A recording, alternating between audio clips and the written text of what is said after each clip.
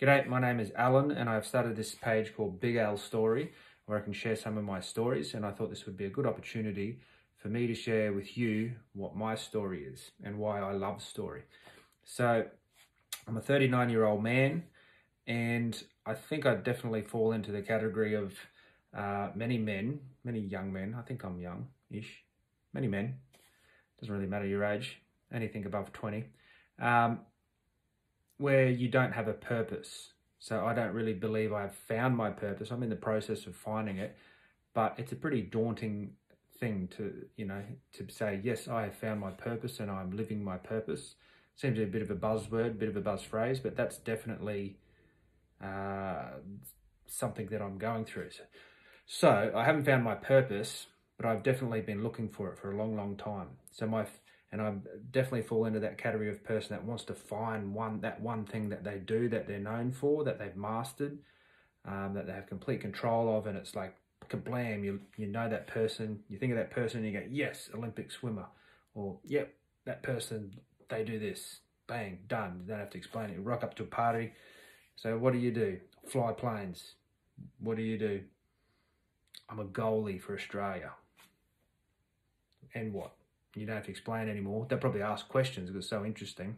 It's so singular, but you just kablam. People generally, not just males, but often just want to have that purpose, bang, fire it back at the person when it's when it's asked, even if they don't ask it, you just tell them. Anyway, there's a whole big, there's a whole lot of backstory to the word purpose. Now, I definitely fall into the category of someone that wants that, but I don't think I've found it. My my little list here I've written of all my little purposes that I've gone through in the years. I probably won't go through them all with you, but I'll go through some of them. The first thing that I really wanted to do was BMX. Now, I think on reflect, like when I did it, I was like, I could just ride bikes for the rest of my life. My parents like, you can't just ride bikes for the rest of your life. And people these days, even in my day back then, rode bikes for a living. But anyway, that didn't happen. But I just did it with such passion and such singularity that anyone that I sort of did for that period of my life, people thought of Alan, bikes, bikes, Alan. So that was like my identity for that, um, those earlier years of my life. And on reflection, I can think, I think I know why I liked it is because nobody told me that I had to ride bikes. So it's like under my own control, like I'll choose to ride bikes. And bikes are a very freeing thing. You can sort of, sort of go within limits. You can sort of go wherever you want. It's up to you. And so you can't be like, it's a very freeing thing. I think that's why that was like my little singular purpose thing when I was a younger person. Anyway, I moved on from that. Um, recently, I've done a like a, a revisit of that because I've been into videography, and that became my thing. Where I'm like, oh, maybe this can be my thing, videography.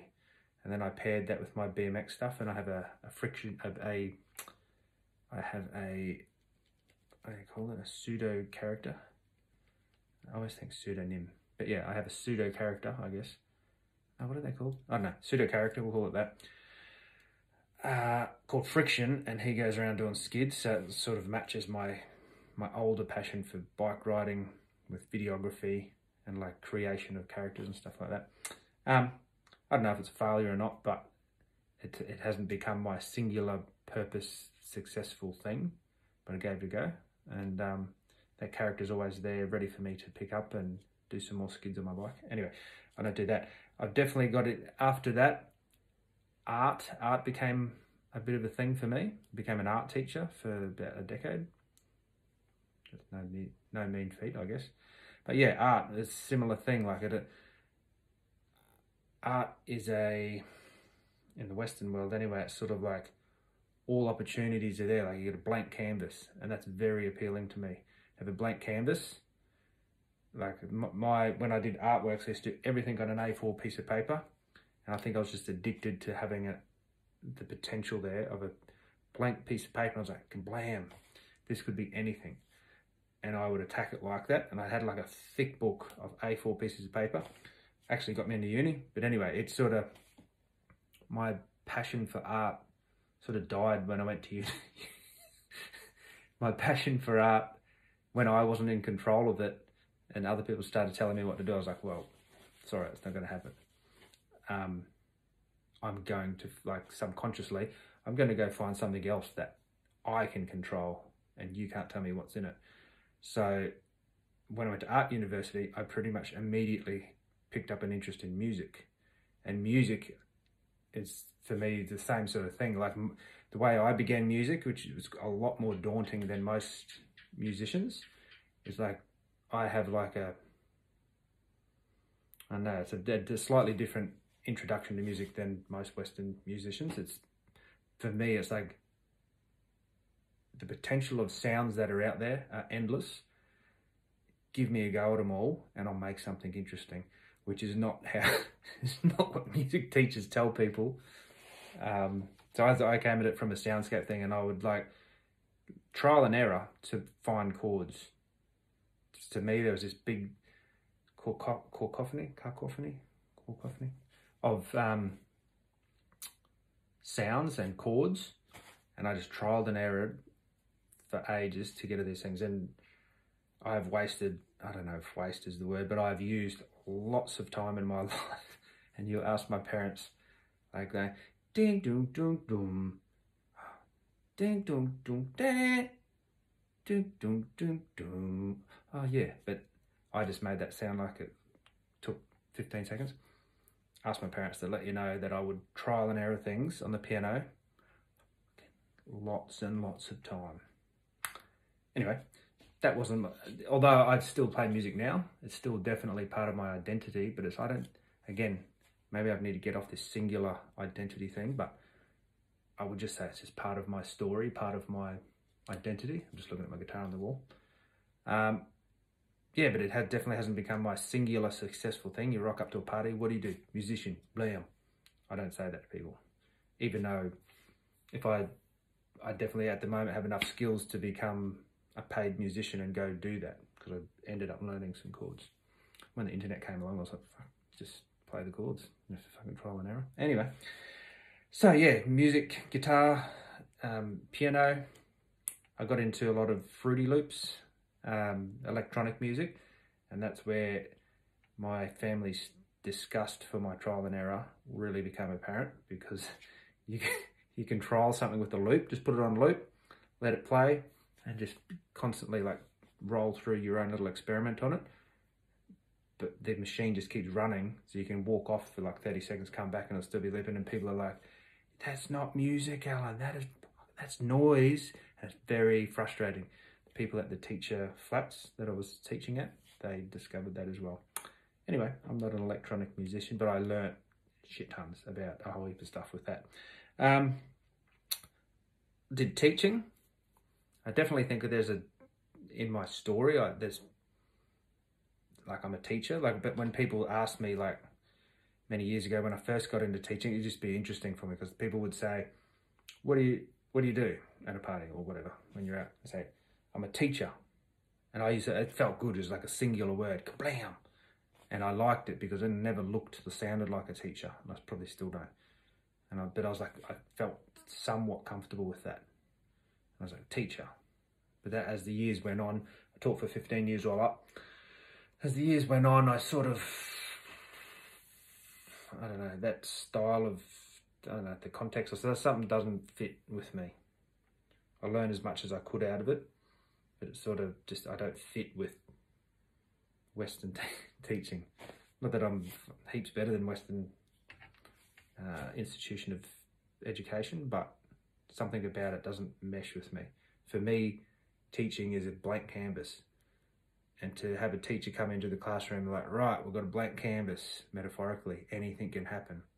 That takes a lot of energy for the teacher to say that and to approach things like that. And I think that's why I don't fit with Western education. Anyway, part of my story. So I did that for 15 years, gave me a mental breakdown. That's definitely part of my story. So now I go to, to parties and people say, what um, what do you do? And I'm like, bipolar. Oh, that's not in singular, it's like two parts to that. But anyway, has a ring to it. I don't do that at parties, but I just say mental health or something. Anyway, still on the journey. Um, yeah, so I taught for 15 years. last seven years of it was in um, special education. Uh, I had a little break break in there in between where I had my mental breakdown. Um, yeah, and more recently, I've done a thing called Learn a Dad that I started up because I had two kids. Um, I had pretty strong ideas about parenting before I had my kids, but it's been really great. It's been great to have kids. It's been really great to prove and disprove some of my concepts through, you know, reality. And sometimes you think something is really clear, then the reality of doing it and having a, another person in the in the mix, not a, it's not an inanimate blank canvas. It's a person. It's like, okay, that trial and error didn't work on that one. Okay. Anyway, it's been a great journey of um, teaching and learning. And um, again, I was I was craving that this thing that I could learn a dad. Um, I still do it. I still got um, videos and stuff that I make. I've got a heap on my phone that I need to upload. I still do it, but uh, again, I'm looking for that singular thing. Okay, that's what I do. I help people with parenting. Um, but it still just doesn't fit fit right for me and my story. But it definitely turns me on. definitely is part of my story, and I still always find myself uh, writing dialogue in my head of how I could explain things I've experienced, and that to me seemed really clear and really detailed. But and I want to express it to other people, so that's definitely something I'm going to do more of and I love it. And uh, possibly story, which is what I'm coming to. Story can help with that sometimes. Um, story is a very powerful thing. Anyway, uh, learn a dad teaching videography. Videography is one that I've done. Didn't realize it, but from my start of my art degree all the way through, I didn't sort of realize like, oh man, I'm so good at all these different things. Geez, I'm cool. Music, art, all this calligraphy, all this stuff. And then I didn't realize that a common thread through it all was videography. So I was doing videos with VHS when I was at art university, and um, yeah, it's life is um, I don't know it's it's kind to you like that sometimes. It's sort of like you've been working with film for several years now, you haven't noticed it, and you've mastered some things out of it. There you go. So then, me being me, I was like, cool, bang, videography is what it is love it, let's do it. And then so I started up a thing called Kite Video, and I did a few jobs and things with that. Um, made some money out of it, not a not a great deal because I I have this thing with when it comes to purpose. Whenever you whenever I try to get it into a singular one thing, put all my effort into it, I think I'm not the only one that experiences this. It's like kablam, cool. This is what it's gonna be, all in here and then uh, like I look over and I'm like, oh yeah, but I also want to do that. Also, like, I know I'm not a surfer, but it'd be cool to give it a go. And or or um, I still want to do music. How can I do videography? Oh, okay, I'll make them together, and then you like convoluted sort of things. But anyway, videography again, it's not the singular thing, but it's definitely part of my story, and it's definitely something I'm not going to just let go of. It'll come in and out to me when I need it. But anyway, videography, I really do have a passion for videography. And I keep saying this word story. Videography gives me this ability to, I have an observation, my uh, my observation skills, I would say, are, above above average. My mum told me when I was very young, before I could understand her, she said, "You're very observant." And I was like, what's observant? And she said, you're very perceptive. And she described what it was very well. But um, she told me that at a very young age. And before she told me that, I knew that I was observant. So the reason I'm saying that is because to be a good storyteller, I think you need to be, you need to see real stories in front of you. Okay, well, that thing just happened. That actually is a story. Um, to perceive it and pick it up is is quite a skill. With videography, you you know the whole observer effect. You get to be behind the camera and you and you you can feel yourself you're like, oh, I'm not a story. I'm I'm an observer of stories, and because I'm an observant person, observant person, that's going to work because I can be quiet and I can observe. That's the story. That's the part of the story I need. You go get it. A bit like a journalist, I guess. You go grab it, you put it, and go, cool. And I also have a story in my head, so I'm going to edit in the way that I perceive the story and the way I want it to be. So yeah, it's like I really do have a, a passion for videography and putting. Like Tarantino said this thing about music and images put together. There's like this scientific thing that happens in your head, and you're like synergizes, and you either one by themselves doesn't create that little energy. And I think a lot of people that edit film know what I'm talking about. They're like, you can just have like normal film, normal everyday story happening, film it for 30 seconds. And then you're like, cool, people maybe watch that, nice narrative. You chuck some music in there, and all of a sudden the whole story changes, and it's like, what? And it's not as simple as music, image, although it is, but like, put a different song in there, and the whole dynamics change. Anyway, I definitely have a passion for videography and I feel it's going to serve me moving into the future. Uh, I did something called the, the Grader Review, which is a, uh, a thing in Ipswich where I helped a friend. Um, it already existed, so what, what would you call the greater Review? It was a, and still is a, not sure, but yeah, um, basically what Kezia and myself did would go around, we'd ask 10 questions of local people doing local things, getting to know people, getting to know businesses, sharing their story, I guess, and doing that. And I wanted to just be, as I said, the observer behind the camera. And Kezia, in her wisdom, she's a very smart woman, said, No, you can't do that. You've got to be on this side of the camera getting filmed. And I was like, Oh. So I hadn't done any live videos and then hadn't done any live videos, but then sort of jumped in the deep end with that. For, many people, it wouldn't sound like a deep end. Press live, cool. But for me, it was quite a big um, hurdle to get over. So I did some live videos. It was quite an empowering, empowering thing. Glad that I did that. Um, we did some edited videos with that as well. But anyway, that is uh, what I did there. Another thing that's been going since I was about 16 is car racing. And I, I've said this to many people, out of all these random skills I have, I would say car racing is the thing I'm the, the most singularly, singularly, singularly good at. Out of all those things, I'm the best at racing. And I think it's, I don't know why that is. I know, but if you put me in a race car, I'll make it work. I don't know why. Um, I've got some ideas about it. I think because the probably because I'm a, a, little bit crazy, and I sort of don't always see life and death the same way other people do. And I'm just like, well, I've got tasks to do.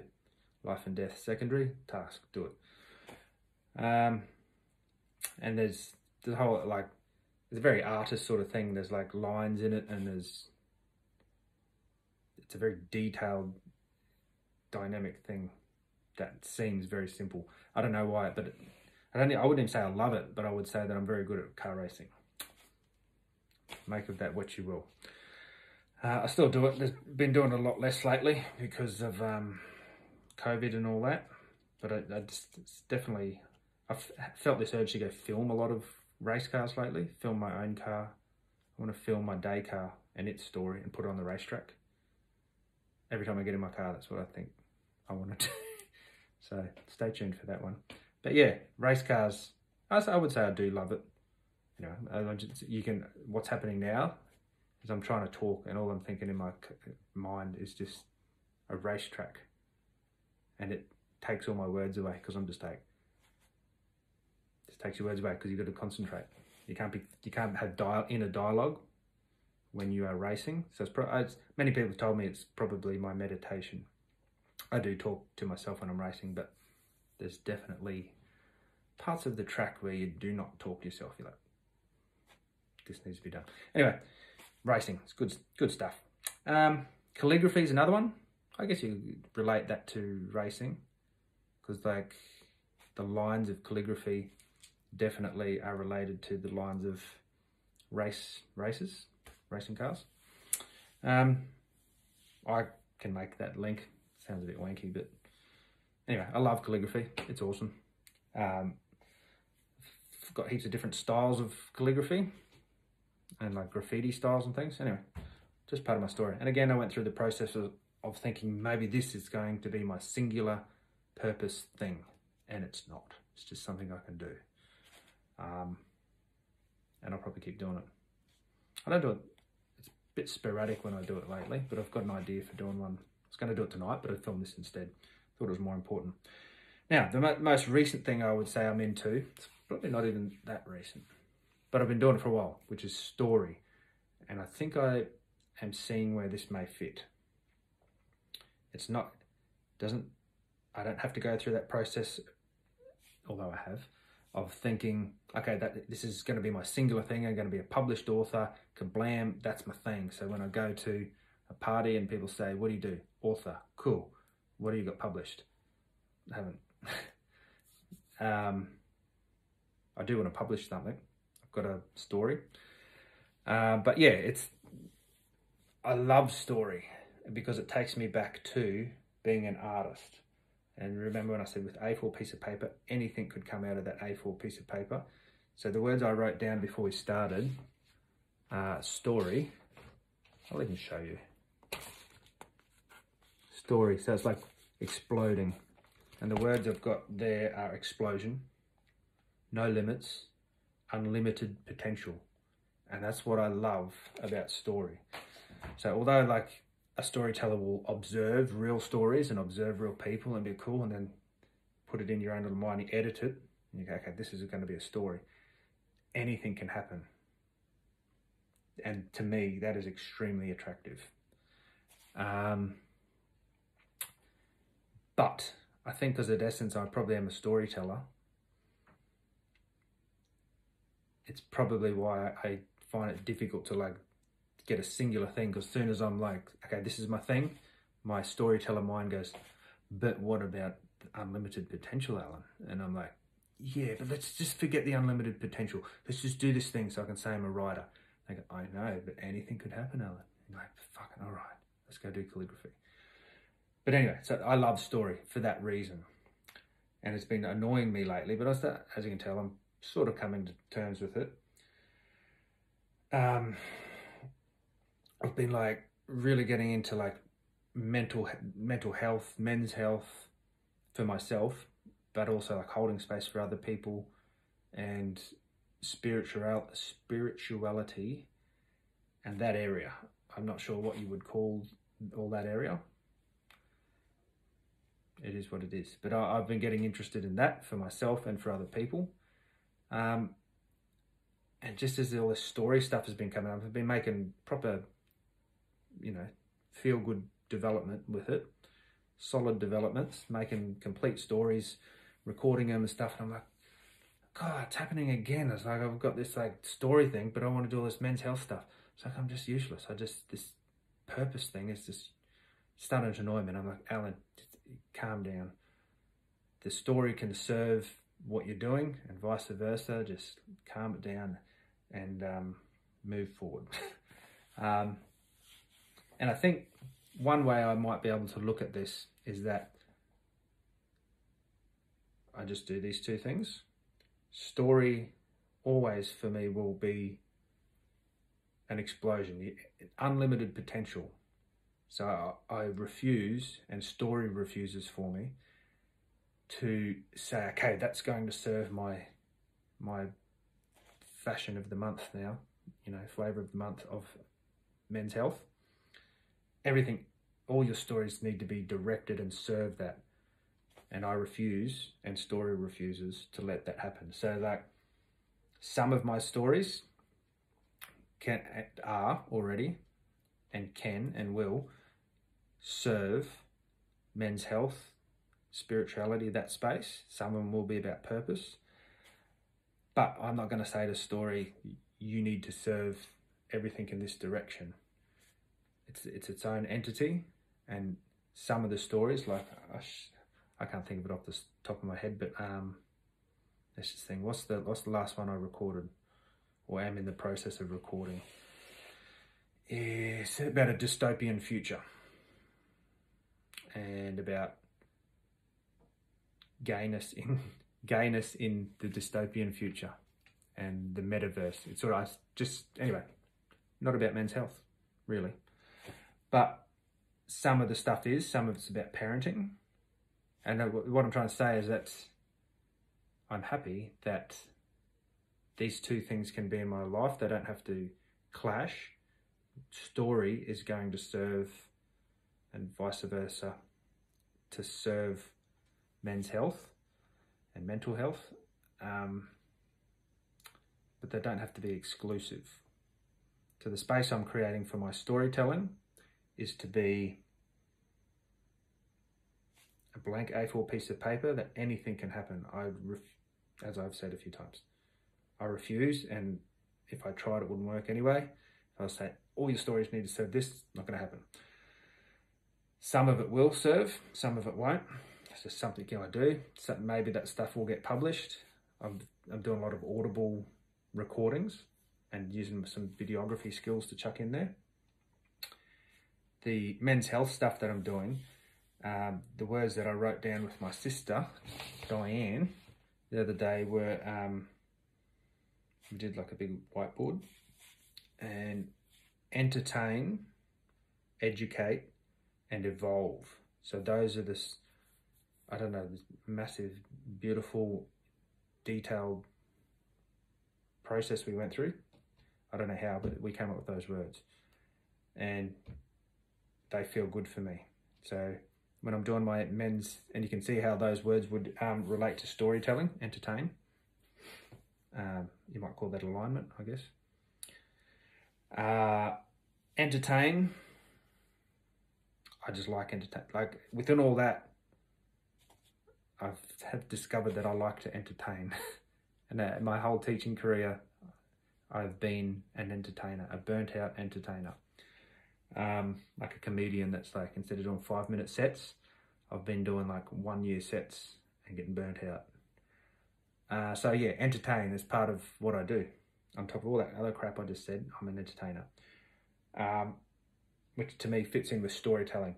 Educate fits in with storytelling. So I'm not jamming these in, but I'm just saying that there seems to be an alignment there.